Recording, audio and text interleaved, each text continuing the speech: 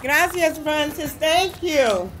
It's so good to be here to, again, stand with you, Mario, and Labor, my colleagues in government. I see Assemblywoman Cathy Nolan, who has been fighting this fight and carrying this bill for years.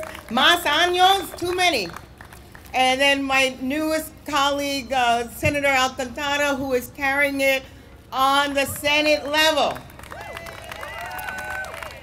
So here we are again, trying to do the right thing by people who do the right thing by us, who do the work to feed our families, who understand that these hours aren't easy. It's not anything but something they do because it is a labor of love. It is able to make a difference. It takes them into a place where they are giving. But the problem here is that they're not really getting. They're not getting their rights.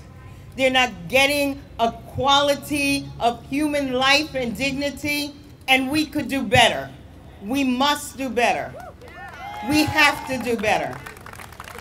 You know, I'm coming at this as an African American woman. We know that in 1935, the National Labor Relations Board, national, decided that farm workers should be excluded. We know that in 1938, the Fair Labor Standards Act uh, said that farm workers should be excluded. Why? Because they look like me. And those people were not allowed to get the benefits of other people. Our nation has, in many ways, been a dichotomy. There's the dream and there's the reality. Sometimes it takes a while for our reality to match the dream. I stand here as a senator.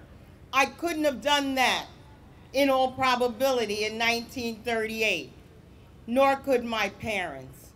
But I stand here now in government realizing we could do good things and we could do things that aren't so good. I'm here to do the good things.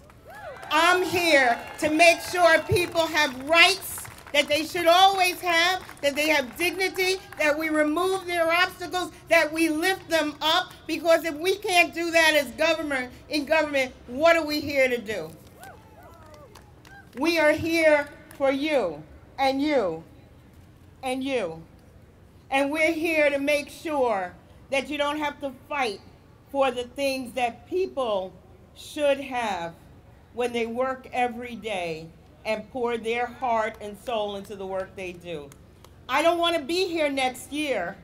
I'm sure my colleagues don't want to be here next year because we want to get this done this year. This year. This year.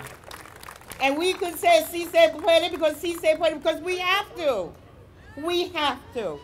So we will hopefully we won't be here next year because this year we will take care of it and together we do say Sí se puede. Sí se puede. Sí se puede. Gracias. Thank you.